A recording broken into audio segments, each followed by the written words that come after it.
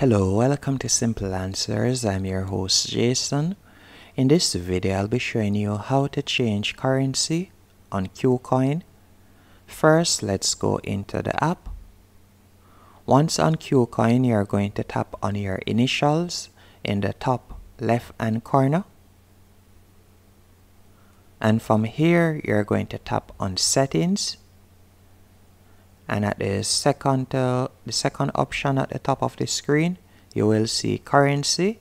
You're going to tap right there. And from here you can select the currency that you would like to use. For example euro. And you can see right there that the currency has changed. And that's it. That's how to change the currency on KuCoin hope you found this video helpful and informative. If you did, be sure to hit the like button and subscribe and thank you for watching.